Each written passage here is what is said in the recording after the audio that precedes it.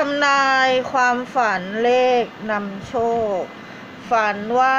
มีเซ็กกับคนร่ำรวยไฮโซ ฝันว่ามีเซ็กกับคนร่ำรวย คนที่มีอำนาจบารมี ฝันว่ามีเซ็กกับคนที่ร่ำรวยมีอำนาจบารมี มียศถาบรรดาศักดิ์เป็นฝันดีค่ะ คุณจะมีความสุขสนุกสนานในชีวิตมากขึ้น ท่านจะมีความสุขสนุกสนานในชีวิตมากขึ้น และจะมีชื่อเสียงขจรขจายไกล จะมีคนยอมรับในความสามารถ จะมีคนยอมรับคุณในฐานะอาจารย์ คุณจะมีชื่อเสียงมีเกียรติยศ ณ เวลานี้ตอนนี้สิ่งศักดิ์สิทธิ์ เทวดาประจำตัวคอยเฝ้าดูคุณอยู่ ณ เวลาเนี้ยตอนเนี้ยมีสิ่งศักดิ์สิทธิ์เทวดาประจำตัว คอยเฝ้าดูแลคุณอยู่ให้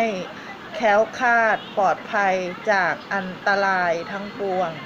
ขอให้คุณไว้ใจได้ ตอนนี้มีคน จ้องหาเรื่อง คุณอาจจะถูกร้องเรียน ถ้าหากคุณเป็นพนักงานบริษัท หรือเป็นเจ้าหน้าที่ข้าราชการ คุณอาจจะถูกร้องเรียน คุณอาจจะถูกร้องเรียนต่อหัวหน้า แต่คุณมีสิ่งศักดิ์สิทธิ์ คุ้มครองท่านที่ แต่งงานแล้วมีเกณฑ์จะได้ลูกชายสืบสกุล คุณจะมีชื่อเสียง คุณจะมีความสุข